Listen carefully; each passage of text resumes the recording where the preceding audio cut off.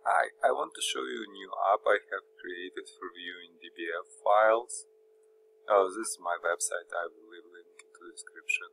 To download the file, I double click on download.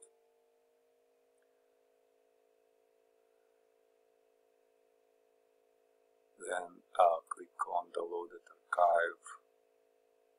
Double click on MSI to start installation. Click on more info, run anyway install. And basically this will install DBF viewer on my computer. You can see there is a shortcut. I can double click on shortcut to get it running.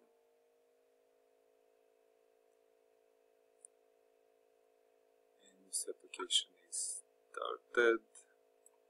So now I can select um, any DBF file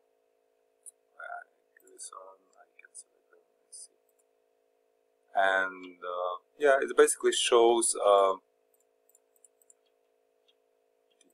files content and also I can export to different different format if I want. And basically that's it. Uh, please give it a try and let me know if it works for you